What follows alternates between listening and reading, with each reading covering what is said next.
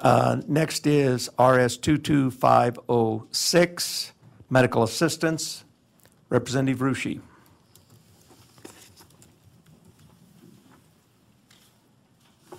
Excuse me while I change folders here.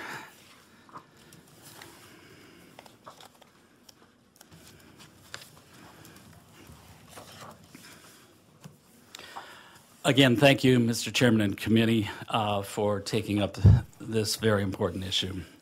I understand that Medicaid coverage is a difficult issue for many of you to face this year, but it's of great impact to the state and the citizens of Idaho. I'd like to talk about the importance of covering working adults who are not eligible for subsidized health insurance through the, our health exchange, and then of the foreseeable consequences of inaction. Then I'll go through the very simple bill, which is almost identical to one this committee printed last year. First of all, Idaho is a low wage state. We've heard that we have the highest rate of um, minimum wage jobs, that our mean household income is 50th of 51. When translated into the realm of health insurance, that means that there are a lot of Idahoans who would qualify for subsidized health insurance. It's estimated that about 75% of Idaho households earn below 400% of the federal poverty level, which is the op- upper limit of earnings for exchange subsidies. But there's also a lower limit of income, a floor amount required for exchange participation, because the U.S. Supreme Court decision and the state's inaction, about 80 to 100,000 Idahoans earn too much for Medicaid coverage, but too little to qualify for the exchange. These Idahoans are too poor for federal help getting health insurance without your concurrence. So, what happens to these citizens, the working poor, when they do not have coverage? First, their health is poor. They die more frequently than those with coverage. The magnitude of the excess burden of disease and death is summarized in a recent article from the Harvard Medical School staff, and I believe copies were disseminated to the committee earlier.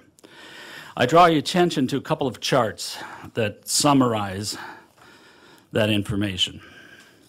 This first one, which I think you have on a uh, landscape view, summarizes the national data. And what it shows is the incidence of disease in an overall population, the percent of change in the disease burden with coverage, and then in the last column, the number of persons avoided uh, with adverse outcomes who whose uh, adverse outcome is avoided because of coverage.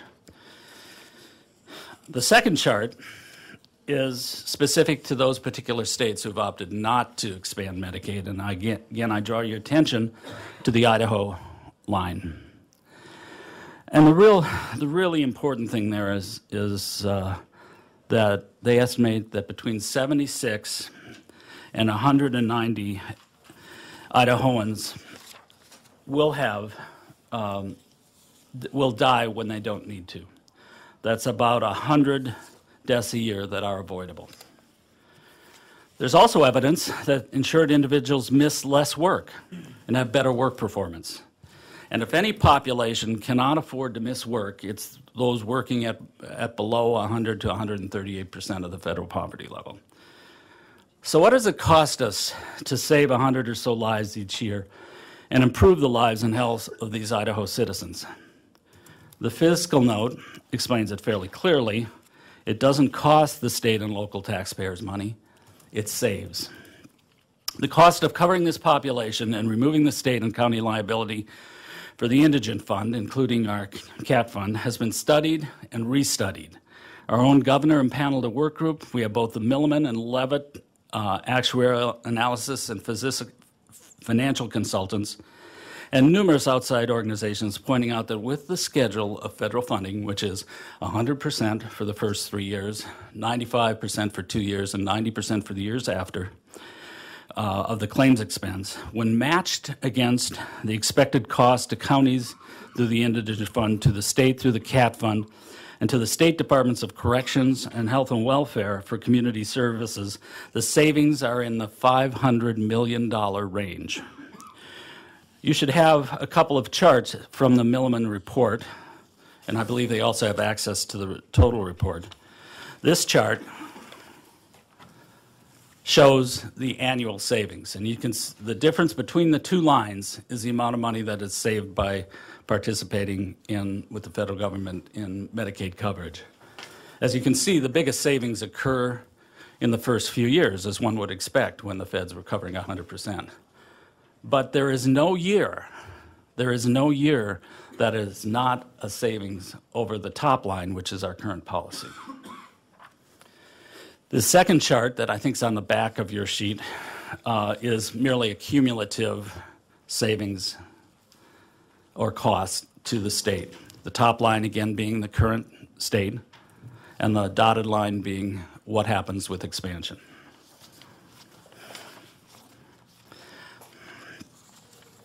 So I've heard a couple of concerns about the financials. The first is, what if the federal government doesn't come through? What if they lower the payments? First of all, the Affordable Care Act includes payments through 2024. They don't have to have further appropriation.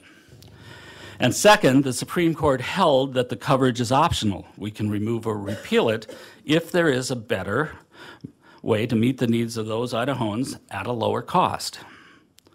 Another comment was the need that we felt the need to cut the federal deficit, so, so we should refuse the federal help. Interestingly, I've not heard that with PILT, Craig Wyden funds, crop supports for INL, or almost any other program. In fact, we're currently seeking federal funds for clean water primacy, for education networks, and numerous other activities that benefit Idaho citizens. And, and should we refuse the help, it will not lower the deficit or the taxes on Idahoans. We're still going to have to pay our federal taxes. Well, that's not exactly right. Should we refuse the coverage, the major businesses estimate that they will have an additional tax burden of between 12 and a half and 18 million dollars in additional fees and taxes. That's why IACI supports the coverage extension. Certainly, the medical communities and the hospitals do too. Our hospitals, especially our community hospitals, will lose dish or disproportionate share hospital payments used to help offset the cost of unpaid care. Without this revenue, the smallest hospitals will have trouble making their budgets. The larger hospitals will ship the cost to the commercially insured population. The increase in the percentage of covered lives that the hospitals would see was designed to cover the shortfall in dish funding. But it'll only happen if the coverage is extended. The list of supporters is long.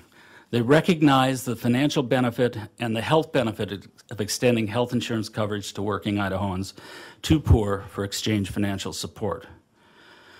But one thing they and most Idaho residents also believe is that we should have a fair and balanced playing field.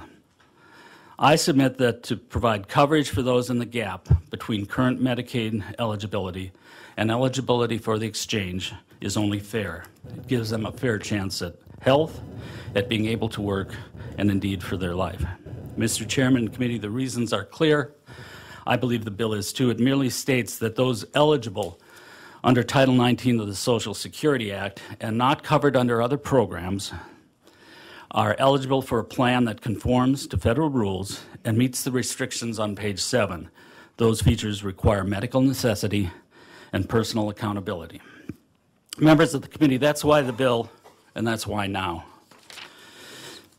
It's fiscally responsible and a clinically appropriate way to care for those working Idahoans who cannot get coverage and whose expenses fall to the indigent program. It saves lives and it saves money. I urge you to introduce the bill.